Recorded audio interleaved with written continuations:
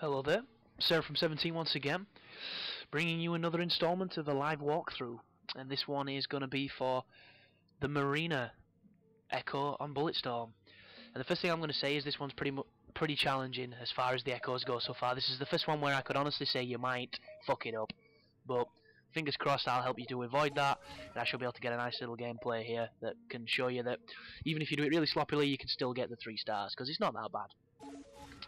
But I'm going to go with the flail gun and the sniper rifle because it's the creeps, so they evade like bitches.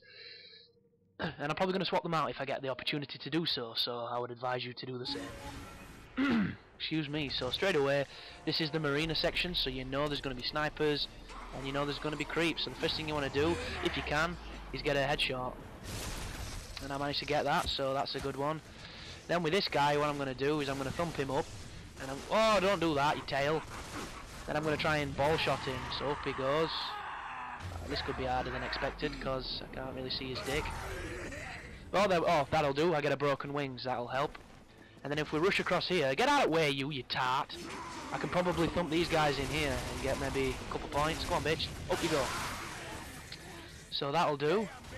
He's there. Can I get you? I can't cock shot this guy. Throw job? No. The game just hates me. Oh, that'll do. That was an inadvertent piece of good fortune. Because I knocked him off onto the... Oh, look at that flail gun, man. That gun is one of the worst guns on the games at times.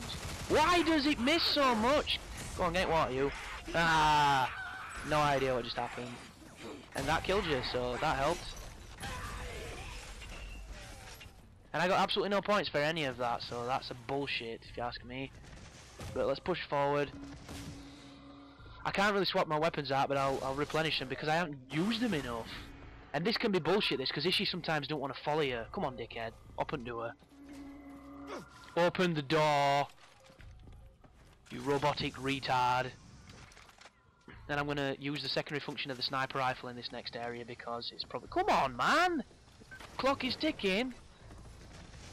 Straight away, it might be able to get me a couple points. So there's that guy there, there's that guy there. Can they stack up a bit? Let's have a see. Detonate. I need to bluff as well, I forgot. So past him. Oh! Come on, moron. Make it that. No idea what happened then. I had no control over that bullet. Oh, I missed him! Yeah, I don't like this sniper rifle sometimes. It's a fucking pain in the ass.